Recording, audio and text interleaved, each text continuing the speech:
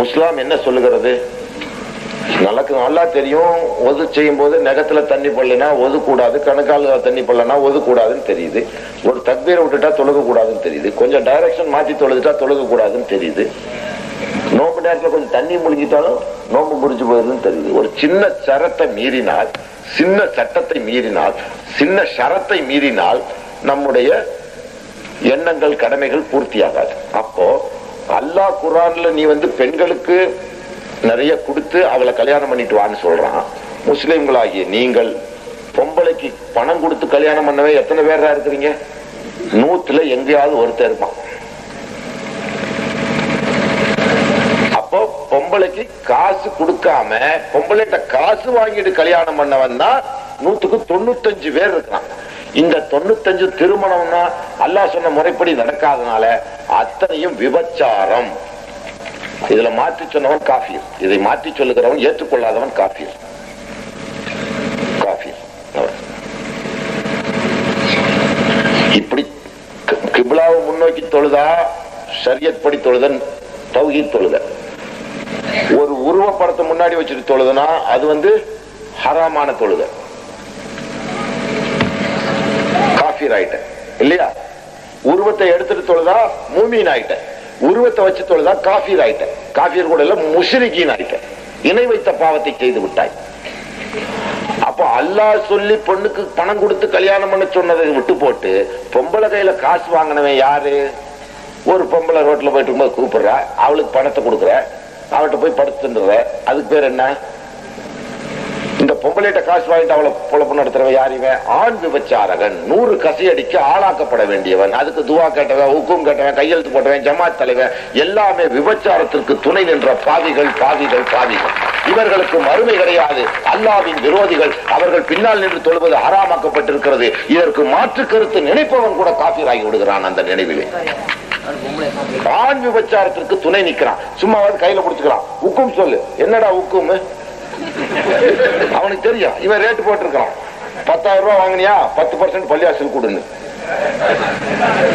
ஹராம் ஹராம். ஹராம். உழைக்காத ஒரு சொட்டு காசு உன் பெற்ற தாயோடு உடல் உறவு கொள்வதை விட கொடிய பாவம் அது. அதை நீ தொட்டது பாவம். யாராவது நம் இளைஞர்கள் செய்திருந்தால் ஜிகாத் கமிட்டிக்காரன் நிறைய பேர் அந்த காசை உன்னால இப்ப கொடுக்க முடியலனாலும் உன் மனைவிட்ட போய் கையை பிடிச்சு அல்லாவுக்காக சபர் செஞ்சுக்கோ. அதை நான் கடனா எனக்கு சொல்லு நீ உன் வாயில.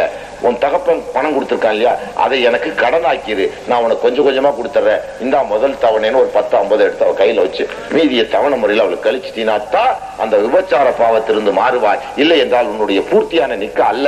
அனைத்துமே ஆண் விபச்சாரத்திற்கு துணை போன பாவிகள். இந்த அயோக்கியர்களால் அடுத்தவனும் இஸ்லாம் மதத்தை தழுவ முடியாமல் தடுக்கப்பட்டிருக்கிறார்கள் என்றால் இந்த பாவிகளுக்கு இம்மையும் கிடையாது மறுமையும் கிடையாது சகோதரர்கள். இம்மையும் கிடையாது மறுமையும் கிடையாது. யாராவது செஞ்சிருக்கலாம் உடனே நீங்க போய் அந்த பொம்பளை கையை பிடிச்சி உங்க மனைவியை பிடிச்சி நான் தெரியாம பணம் வாங்கிட்டேன். தெரியாம ஒருத்தன் வாங்க மாட்டேன். இவன் தெள்ளவாரிப்பேன் தெரிஞ்சே தப்பு பண்ணிட்டேன். இப்ப என் மனசாட்சி உறுத்துது. நாளைக்கு மறுமையில ஹயாத்த மௌத்த. அதான் பணம் வாங்கின எவன் வீட்டுல அது ரிசல்ட் விருத்தியா இருக்காது நீ நல்லா கவனிச்சு பார்த்தா துட்டு வாங்கிட்டு திருமணம் பண்ணவன் பூரா ரிசல்ட் விருத்தி ஆகாது. இந்த துட்டு இல்லாம திருமணம் பண்ண வாழ்க்கையில இருக்கிற செழிப்பு தெம்பு அந்த நூறு அவன் முகத்துல இருக்கிற அந்த ரஹமத் குதிரத் இந்த திருட்டு பய மூஞ்சில் இருக்காது. கொர்றப்பைய மாதிரி இருப்பான். அந்த கல்யாண வீட்டுல வார அவன். கொர்றப்பைய மொழி மொழிப்பான். அது கொடுக்கிற பொண்ணு கொடுக்கறவனும் அப்படியே ஒரு மாதிரி இழப்புல அந்த கல்யாண வீட்டுக்குள்ள போனா ஒரு ஹராமான செயல் நடக்கும்போது அங்க துணை நிக்காத நின்னா அந்த லிஸ்ட்ல ஒன்னையும் சேர்த்துருவீங்க அல்ல. ஒன்னு கையால தடு வாயால தடு குறைந்த அளவு மனதளவிலாவது வெறுத்து ஒதுங்கு நீ. மனதளவில் வெறுப்பதை இறைவன் கடைசி பட்ச ஈமானாக சொல்லுகிறான் ஆனா ஆலிம்புல கூட உட்காந்து அவனுக்கு துவா ஓதி ரெண்டு பேர் கையெழுத்து ஒரு வக்கீல் ஜமாத் தலைவர் எல்லாம் போட்டிருக்கான். ஏன் கேமத்துக்கான சாட்சிகள்? நாளைய நரக நெருப்பின் விறகுகள். நாளைய நரக நெருப்பின் இன்றைய விறகு கட்டைகள் இந்த ஜமாத்து தலைவர்கள் இந்த ஆலிம்கள் உலமாக்கள் யாரு? இந்த திருட்டு பணத்துக்கு கை ஓதுறவன். ஒதுக்கணும் இல்ல ஆலிம்களே. ஹக்கான மூமின்கள் நீங்கள். நல்லதை ஏவ கடமைப்பட்டீர்கள். தீயதை தடுக்க கடமைப்பட்டீர்கள். இதை சொல்லிக்கொண்டே சோத்தை தின்பவன் ஆலிம் அல்ல. சொல்லியதை செயலாக்க வேண்டும். செயல்படுத்தியதை இன்னொருவனுக்கு பிரகடனப்படுத்த வேண்டும். இதை செய்யாத வரை நீங்கள் ஆலிம்கள் இல்லை. ஷைத்தானின் கூட்டத்தில் ஒன்றாகி விடுவீர்கள் சகோதரர்களே. நீ முதல்ல அவனை பள்ளியாசல்ல ஏத்து மிம்பர்ல மாப்பிளக்காரன அல்லா மேல சத்தியம் பண்ணு. நான் பத்து பைசா பெண் வீட்டுல வரதட்சணையா வாங்கலேன். அவன் சத்தியம் பண்ணட்டும் அப்புறம் உட்காந்து நிக்காவோ. இல்லையா வெளியே எந்திரிச்சு போயிடும் அவன் எங்கேயோ போய் ஓதுட்டான் அதனால வேலை போது அவன் ரிசக்க நிர்மாணிக்க வேண்டியது இறைவன். இந்த பள்ளிவாசல் நிர்வாகி அல்ல.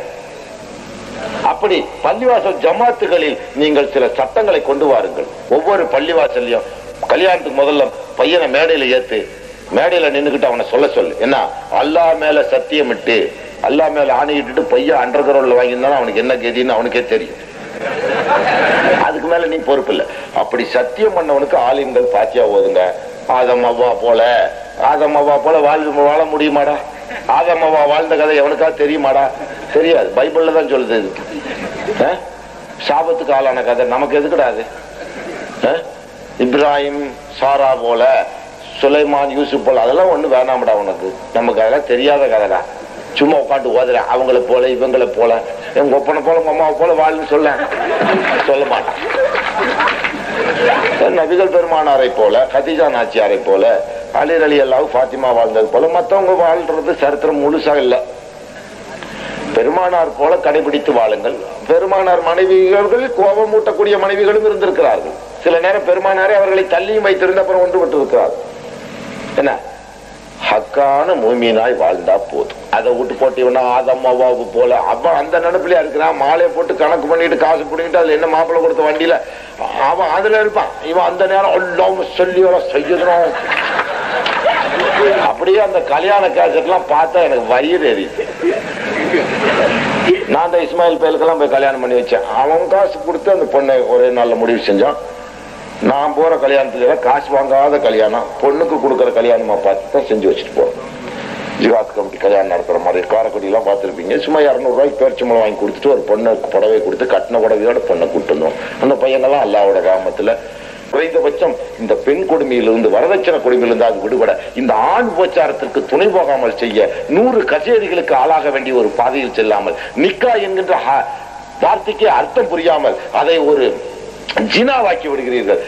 ஃபனாவாக்கி விடுகிறீர்கள் அதை அதை ஒரு விபச்சாரமாக்கி விட்டீர்கள் உங்கள் நிக்கா கூடாது காசு வாங்கினவன் நிக்கா கூடாது அது விபச்சாரம் விபச்சாரம் விபச்சாரம். இதை மாற்றி சொன்னவன் காபீர் சகோதரனை காபீர் நீங்கள் வாழ்ந்த வாழ்க்கை ஒரு விபச்சார வாழ்க்கை. ஒவ்வொரு இரவும் ஒரு விபச்சாரத்துக்கு சமமாகி விட்டது சகோதரனை உங்களுக்கு. அது ஆணாக இருந்தாலும் சரி பெண்ணுக்கு அது சவாபாகி விடும் காசு வாங்கிய ஆணுடைய வாழ்க்கை நிக்கா அல்ல. காரணம் நிக்காவின் சரியத்தை பூர்ணமாக்கவில்லை ஷரத்துக்கள் பூர்ணமாக்கப்படவில்லை. அதற்கு எதிர்மறையான ஷரத்தாக இருந்ததால் அது பூர்த்தியாகாத நிக்கா. பூர்த்தியாகாத நிக்கா வரும் ஏ- என்ன அர்த்தம்? விபச்சாரம் தான் அந்த பெண்ணை தீண்டும் போது.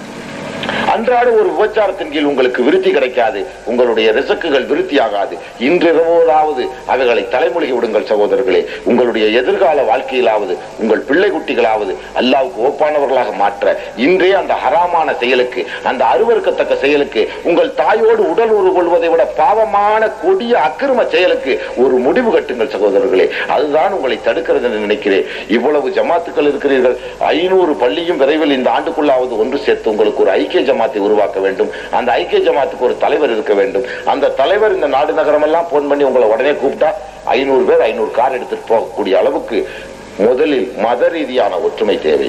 அதற்கடுத்து அறுபது தொகுதிகளை நீங்கள் வெல்லும் வரை உங்கள் உறுதியான அரசியல் கட்சியில பல பேர் இருப்பீங்க. இருந்தாலும் மார்க்கம் என்று சொல்லும் பொழுது அரசியல் கட்சி தலைவர்கள் முஸ்லிம்கள் நீங்கள் சிந்தித்து பாருங்கள். உங்களுடைய சமுதாய பின்னணி முதலில் வையுங்கள்.